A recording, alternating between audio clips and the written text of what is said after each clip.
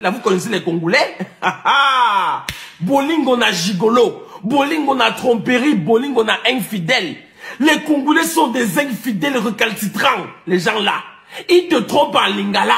Oui, les deux Congos, la RDC, le pays des royaumes des cieux. Où c'est Dieu qui avait dit que en RDC, les hommes devaient être aussi infidèles que ça, je ne connais pas. Tu vas voir un petit garçon, il s'appelle fidèle. Tu vas dire que, ah, celui-ci au moins, ce qui est sûr, il sera fidèle. Ah, ah, détrompe-toi. C'est même lui-là qui va te coacher en infidélité. Il dit que là-bas au Congo, il y a des hommes qui sont coachs en tromperie, coach en infidélité. Ils ne savent pas se contenter d'une seule femme. Les hommes congolais, ils te draguent avec le lingala. Ils t'amènent avec la rumba. Tu vas dire que non, comment? Les hommes là sont infidèles. Ils sont toujours en train de draguer. Tu vas les voir frais comme un poisson qui vient de sortir dans l'eau. Mais ils n'ont même pas 5 francs dans leur poche, les Congolais. Ils vont te dire que Bolingo na sap, Bolingo na yorobo, Yaya na mouvement. Il dit que les gars là que vous les voyez, si un Congolais te drague, faut barrer.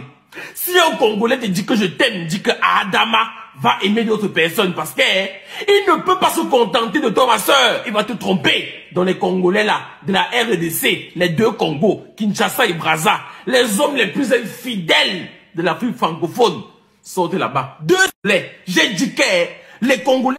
Mon frère, ce que tu viens de dire là, c'est pas totalement faux. Je dirais bien que c'est pas totalement faux. Les deux Congos, les hommes sont tellement infidèles. Tu as raison.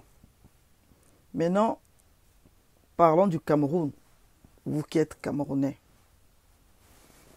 Vous avez dit, les hommes congolais, c'est des... Ils n'ont pas l'argent. Ils savent seulement pas draguer en lingala. Tout ça, c'est vrai, hein? c'est vrai. Et mes soeurs et frères, c'est vrai, il a raison. Mais il y a un dicton qui dit, le bossu ne voit pas sa bosse. Les Camerounais, parlons-en un peu des Cameroun. Cameroun Mboka. Parlons-en un peu du Cameroun. Je vais décortiquer les hommes camerounais. On va décortiquer les hommes camerounais. Cameroun Mboka.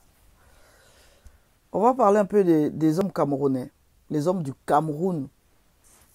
Ils sont comment les hommes du Cameroun? Les filles.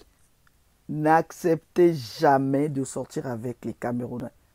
Car 80, je dis bien 80% des Camerounais, c'est des escrocs. Camerounais, Ivoiriens, c'est même père, même mère. C'est comme des poissons fumés. Quand tu mets dans l'eau, ça s'évapore. Les fémanes, c'est eux. Les escrocs, c'est eux. Les gigolos, c'est eux. En Europe même, en Beng, quand une femme sort avec un blanc, un Camerounais peut être son amant et il se fait passer pour le frère qui ne vous connaît pas? Les, les vrais gigolos dans le sens gigolo qui connaît ça plus que le Camerounais? Qui connaît ça? Le Camerounais s'occupe pas de, de, de la femme. Le Camerounais aime être entretenu par la femme. Et il joue le rôle parfait du frère de la femme de quelqu'un et dans la maison de quelqu'un. Qui ne sait pas ça Un Camerounais met la main dans le sac de sa femme pour voler. Un Camerounais est, est fainéant à part escroquer. Oui, je dis bien les 20% restants, c'est les gens instruits, tu les vois dans les bureaux, et les, je parle que des hommes, hein, et tu les vois dans les bureaux, voilà. Mais le, la majorité, c'est des grands gigolos. À bon entendeur.